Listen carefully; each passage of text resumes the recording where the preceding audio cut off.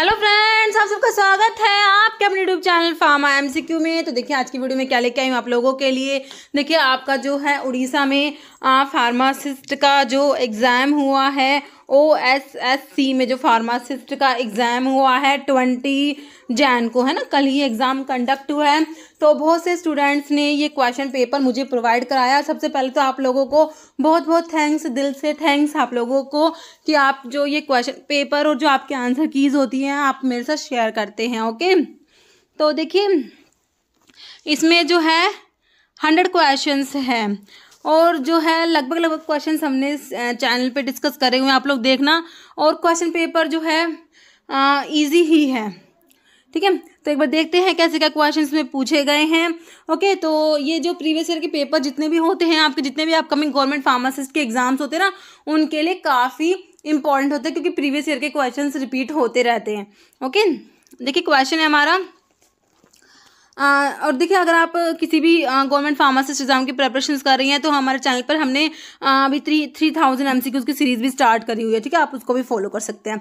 और देखिए क्वेश्चन हमारा which factor can influence the rate of drug absorption rate of drug absorption को कौन कौन से फैक्टर्स जो, इसमें से कौन से फैक्टर जो इन्फ्लुएंस करेंगे? ड्रग का मेटाबोलिज्म है फ़ूड इन द स्टमक है एक्सक्रीशन रेट है, या डिस्ट्रीब्यूशन टू टिश्यू तो इसका आंसर क्या हो जाएगा? आपका फ़ूड इन द स्टमक हो जाएगा। नेक्स्ट है range of bacterial species a particular antibiotic can target is known as antibiotic resistance है। Antibiotic culture spectrum and nourishment तो क्या होता है, ये एंटीबायोटिक स्पेक्ट्रम होता है ना नेक्स्ट है insulin is responsible for maintenance of तो इंसुलिन किसके लिए रेस्पॉन्सिबल होता है? तो इंसुलिन क्या करता है? ब्लड के ग्लूकोज लेवल को मेंटेन करके चलता है। ब्लड का ग्लूकोज लेवल तो उसको रेगुलेट करता है इंसुलिन है ना? तो आपका आंसर क्या हो जाएगा? Blood glucose level answer is option A आप लोगों ने करा है तो बिल्कुल सही है। नेक्स्ट है thyroxine stimulating hormone TSH release होता है। कहाँ से मैंने आपको बता रखा है? पिचुट्री के हार्मोन्स के बारे में। एंटीरियर लोब से कौन से हार्मोन सीक्रेट होते हैं? पोस्टीरियर लोब से कौन से हार्मोन सीक्रेट होते हैं? तो आपसे तो बिल्कुल सिंपल ही पूछा हुआ है कि टीएसएच कहाँ से रिलीज़ हो रहा एंटीरियर पोस्टीरियर का भी नहीं पूछा हुआ। सिंपल टी एस एच कहाँ से रिलीज़ होता है? तो हमारा जो पिचिट्री ग्लैंड होती है ना, इसकी एंटीरियर लोब से सिक्रेट होता है हमारा थायरोक्सिन स्टिमुलेटिंग हार्मोन ओके आपने पिचुट्री कराया तो बिल्कुल सही है। Next which of the following is not a disease but a symptoms कह रहे इसमें से कौन सा डिज़ीज़ नहीं है एक सिम्टम है। थायराइड क्या है? डिज़ीज़ है डेंगू मीजल सब डिज़ीज़ है। टैकिकार्डिया जो हार्ट रेट इंक्रीज होता है टैकिकार्डिया तो it is not a disease but a symptoms okay तो ये सिम्टम हो जाएगा। Next process of drug metabolism often involve the conversion of lipophilic drug देखिए ड्रग मेटाबोलिज्म जो होता है उसमें क्या होता है? लिपोफिलिक ड्रग जो होती है लिपिड सोल्यूबल ड्रग होती है वो, वो क्या होती है? वो हाइड्रोफिलिक ड्रग में कन्वर्ट होती है। होती है वाटर सोल्यूबल फॉर्म में ताकि वो एब्जॉर्ब नहीं हो और एक्सक्रीट आउट हो जाए।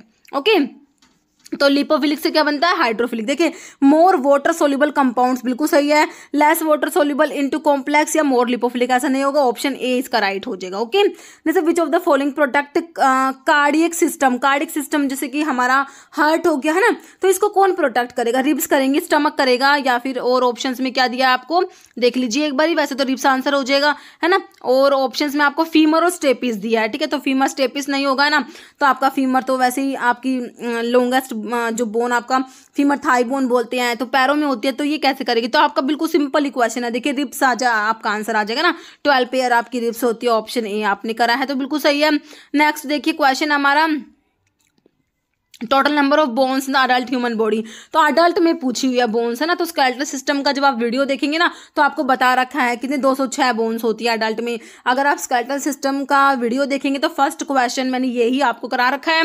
Okay O T C stand for देखिए ओवर द काउंटर ड्रग्स होती है। O T C over the counter बहुत बार एक क्वेश्चन रिपीट होता है। बिल्कुल ईजी क्वेश्चन है बहुत बार आता है। हम्म, आप वीडियोज़ देखेंगे तो मैंने आपको ये भी बता रखा है। Next medication taken for prevention of a disease एक डिज़ीज़ की प्रिवेंशन जो मेडिकेशंस लेते हैं, उन्हें क्या कहेंगे? प्री वर्कआउट ड्रग कहेंगे प्रोफाइलैक्टिक ड्रग कहोगे अर्ली ड्रग है रिचार्ज ड्रग देखिए ऑप्शन मतलब बिल्कुल सिंपल से ऑप्शन देगा प्रोफाइलैक्टिक ड्रग हो जाएगी ना? नेक्स्ट है geometric isomerism is most commonly observe in compounds with तो कौन से कंपाउंड्स में जो मोस्ट कॉमनली ऑब्ज़र्व होते हैं geometric isomerism single bonds triple bonds cis trans configuration या एलिफेटिक स्ट्रक्चर तो सिस ट्रांस कन्फिग्रेशन हो जाएगा। नेक्स्ट है which dose is form is specifically designed for delivering medications directly into rect rectum है ना? कौन सी डोज फॉर्म होती है, जिससे क्या होता है, ये जो मेडिकामेंट्स होते हैं रेक्टम में डिलीवर किए जाते हैं। देखिए सपोजिटरी या लोजेंजिस स्ट्रोचिस या आपका सबलिंगुअल टैबलेट्स तो आंसर आपका क्या हो जाएगा? सपोजिटरीज हो जाएगा ना? नेक्स्ट है maximum amount of food absorption जो फ़ूड का जो एब्जॉर्प्शन मैक्सिमम एब्जॉर्प्शन कहाँ होता है? माउथ में होता है स्टमक में इसोफेगस या इंटेस्टाइन देखिए, जो फ़ूड का जो एब्जॉर्प्शन होता है ना, वो आपका इंटेस्टाइन में होता है ओके ऑप्शन डी आप लोगों ने करा है तो बिल्कुल सही है। How many sensory organs are present देखिए तो ये तो बिल्कुल ही बेसिक है। सेंसरी ऑर्गन आपके कितने होते हैं? फाइव होते हैं। ऑप्शन ए राइट हो जाएगा। Which of the following has a specialise specialisation to treat cancer cancer को ट्रीट करने के लिए स्पेशलाइजेशन um, का नाम बताना है। ऑर्थोपेडिक है पीड्रियाटिक ऑन्कोलॉजिस्ट या पल्मोनोलॉजिस्ट तो ये ऑन्कोलॉजिस्ट हो जाएगा है ना? ऑप्शन सी जैसे which of the following transition metal तो अभी इनऑर्गेनिक केमिस्ट्री के हमने थ्री थाउज़ेंड की सीरीज़ में ना ये इनऑर्गेनिक केमिस्ट्री अभी स्टार्ट करके दो वीडियो अपलोड करें। आप लोग देखना ट्रांजिशन मेटल वाला क्वेश्चन मैंने आपको अभी कराया ही है। ये पेपर कल हुआ था ट्वेंटी को मॉर्निंग में मैंने वीडियो डाला था। ये क्वेश्चन उसी में था। ये का ये क्वेश्चन है सोडियम कॉपर क्लोराइड क्लोरिन है कार्बन तो मैंने आपको कॉपर आंसर बताया। उसमें ऑप्शन बी नेक्स्ट है which type of reaction is used to convert alkane to alkene देखिए एल्केन से एल्कीन कन्वर्ट होते कौन से टाइप की रिएक्शंस होती है? हाइड्रोलिसिस है सब्सटीट्यूशन है एलिमिनेशन है एडिशन ठीक है? तो ये आप देख लेना केमिस्ट्री थोड़ा सा मेरा वीक है तो केमिस्ट्री का आप लोग, हम देख लेना इसका आंसर क्या होगा ओके बाकी what is the I P S C name four C S three C S two C S two C S two O S तो आपका देखिए, इसमें चार कार्बन है तो चार कार्बन के लिए आपका मेरे हिसाब से ब्यूट वर्ड यूज़ होता है ना? तो आपका ये ब्यूटेनोल हो जाना चाहिए। एक, दो, तीन, चार ही कार्बन है ना तो आपका ब्यूटेनोल हो जाएगा। ऑप्शन सी, जैसे morphine belong to the class of drugs under which schedule as per drug and cosmetic act. तो मोरफिन जो है कौन से शेड्यूल में आता है आपका? ये आपने बताना है तो आपका नारकोटिक ड्रग साइकोट्रॉपिक सब्सटेंस में आ जाना चाहिए ना? तो शेड्यूल एक्स में आ जाएगा ऑप्शन डी नेक्स्ट है healthy individual has a systolic blood pressure तो सिस्टोलिक आपका जो ब्लड प्रेशर जो आप लोग पढ़ते हो वन ट्वेंटी बाई एटी जो आप लोग पढ़ते हो ना तो इसमें सिस्टोलिक होता है और ये सिस्टोलिक होता है ना, ये डायस्टोलिक होता है ऊपर वाला सिस्टोलिक होता है ना तो one twenty M M H G हो जाएगा आपका जो है systolic option C. Next question देख ले ट्वेंटी वन में क्या दिया हुआ आपको? C D S C O simple आपका सी डी एस सी ओ का फुल फॉर्म आप लोगों से पूछा हुआ है है ना? डी आपको जो जूर स्टूडेंट से क्वेश्चन मैंने आपको करा भी रहा है central drug standard control organisation central drug standard control organisation option B में दिया है ना? ऑप्शन बी राइट है। फीफो का full form fast in fast out इससे इजी क्या होगा? फास्ट इन फास्ट आउट जैसे which of the following is not a test for tablet की वैल्यूएशन के टेस्ट में? देखिए डिसइंटीग्रेशन टेस्ट आता है डिजोल्यूशन टेस्ट आता है फ्रैबिलिटी आता है, लेकिन ये सोल्यूशन विस्कोसिटी नहीं आता ऑप्शन सी राइट हो जाएगा. जैसे which of the statement is not true for typhoid के लिए कौन सी बात सही नहीं है? गलत है, बताइए. देखिए it is caused by contaminated water and food it is caused by Salmonella typhi बिल्कुल सही है टाइफॉइड का कोज ऑर्गेनिज्म क्या होता है? सालमोनेला टाइफाई होता है। इट इज़ नॉट ट्रीटेबल तो कह रहे कि टाइफॉइड ट्रीटेबल ही नहीं है, इसको ट्रीट ही नहीं कर सकते। ऐसा तो नहीं होता ना। तो ट्रीट तो कर ही सकते हैं। इट इज़ नॉट ट्रीटेबल आपका जो है ये नॉट में यही आ जाएगा। बाकी high fever is one of the symptoms okay next देखिए क्वेश्चन एमडीआई मतलब कि मीटर डोज इनहेलर्स जो होते हैं कॉमनली किसमें यूज़ करेंगे? एमडीआई मीटर डोज इनहेलर्स जो होते हैं, देखिए asthma toothache liver damage malnutrition तो अस्थमा में यूज़ करेंगे ना ऑप्शन ए जैसे इंसुलिन इज़ प्रोड्यूस्ड बाय तो इंसुलिन जो है हमारे पेनक्रियाज में आयलेट ऑफ़ लैंगरेंस की बीटा सेल से प्रोड्यूस होता है। इसमें सिंपल पूछा आपसे पेनक्रियाज आपने आंसर करना था ऑप्शन ए नेक्स्ट क्वेश्चन है LASA stand for look alike sound alike है ना? तो L A S A hospital and clinical pharmacy के हंड्रेड क्वेश्चन का वीडियो है। आप देखना उसमें, इस, ये क्वेश्चन भी आपको उसमें मिलेगा। फीफो वाला भी है, उसमें ये लासा वाला भी है। लुक अलाइक साउंड अलाइक कौन सा ऑप्शन में? लुक अलाइक साउंड अलाइक ये ऑप्शन बी में ही है ना? नहीं सर डिमेंशिया डिमेंशिया मतलब कि लॉस ऑफ़ मेमोरी डिमेंशिया का मतलब क्या होता है? लॉस ऑफ़ मेमोरी है ना? तो मैंने आपको बताया था, ये टर्मिनोलॉजीज जो होती है इंपॉर्टेंट होती है।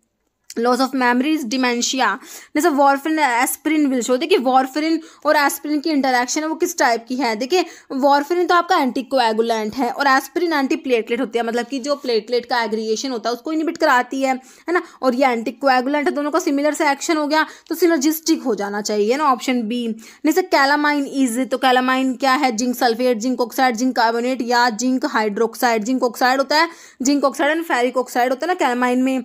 जिंक ऑक्साइड हो जाएगा option B next powder that absorb जो मॉइस्चर एब्जॉर्ब करते हैं, उन पाउडर्स को क्या कहेंगे? जो मॉइस्चर एब्जॉर्ब करते हैं, वो हमारे हाइग्रोस्कोपिक पाउडर्स होते हैं ना, जो मॉइस्चर को एब्जॉर्ब करेंगे। जैसे लुगोल सोल्यूशन तो एक्वस आयोडीन सोल्यूशन आपको पता है लुगोल सोल्यूशन होता है, क्या होता है? एक्वस आयोडीन सोल्यूशन तो इसमें क्या प्रेजेंट है? आयोडीन प्रेजेंट है option D next solution are solution क्या होते हैं? बाईफेजिक होते हैं मोनोफेजिक मल्टी लेयर सस्पेंशन तो सोल्यूशन मोनोफेजिक हो जाएँगे। Next which of the following size of capsule देखिए लार्जेस्ट और स्मॉलेस्ट पे क्वेश्चन बहुत बार बनता है। तो स्मॉलेस्ट को तो हम ऐसे याद रखते हैं कि फाइव जो होता है ना, ये स्मॉलेस्ट के एस को हम फाइव से रिलेट करके याद करते हैं। तो स्मॉलेस्ट तो आपका फाइव वाला होता है और ट्रिपल ज़ीरो जो होता है हमारा लार्जेस्ट होता है। इसके ऑप्शन में देखिए, आपको कौन सा दिया हुआ है? थर्टी फोर का ऑप्शन देखिए नेक्स्ट ऑप्शन तो इसमें आपको ज़ीरो ही दिया हुआ है ओके ट्रिपल ज़ीरो नहीं मिला तो ज़ीरो वाला स्मॉलेस्ट हो जाए मतलब कि लार्जेस्ट हो जाएगा ना। लार्जेस्ट ही पूछा हुआ ना इसमें? क्या है इसमें? देखिए लार्जेस्ट को तो इसके ऑप्शंस के अकॉर्डिंग हमारा ज़ीरो वाला आंसर सही हो जाएगा। नेक्स्ट क्वेश्चन है sunscreen is S P F fifteen तो कह रहे जो सनस्क्रीन होते हैं ना उस पर एस पी एफ़ होता है ना तो एस पी एफ़ फिफ्टीन का मतलब क्या है? देखिए protection in sun for fifteen minutes without getting a sunburn protection in sun for fifteen hours without getting a sunburn up to fifteen times more solar energy required to produce a sunburn या compare to unprotected skin या फिर protection for fifty one fifty minutes ठीक है तो आपका answer option D हो जाएगा।